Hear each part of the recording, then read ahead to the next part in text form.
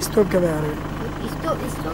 Bakın şimdi bu 132'ye 2 ve 132'ye 1 parsel arazilerin içindeyiz. Bu arazi 2011 4. ay 15'inde men edildi. Men edildikten sonra tekrar buraya karpuz ekildi. Ve keşif sırasında bu fıstıklar da aynı parselin içindedir. Fen memuru ölçmedi. Biz burayı ölçmesini söyledik. Biz keşif vermiştik. Ölçmedi efendim. Yani burasını ölçmüyorlar. Kılıçveren köyü. Bak körücü, köy korucuların topladığı taşlar. Bak meramıza yığdığı taşları gösteriyorum. Bak bu taşları hepsini köy korucular topladı. Köy korucuları getiriyorlar efendim. Bu köy korucularla bizi tehdit ediyorlar.